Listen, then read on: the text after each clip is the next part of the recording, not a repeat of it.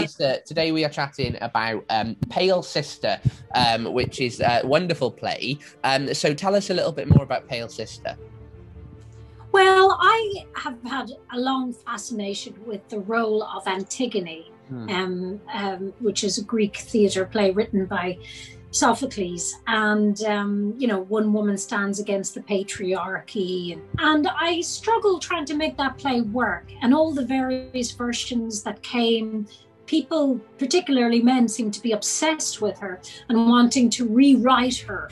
You know this this image of this woman who stands against the patriarchy.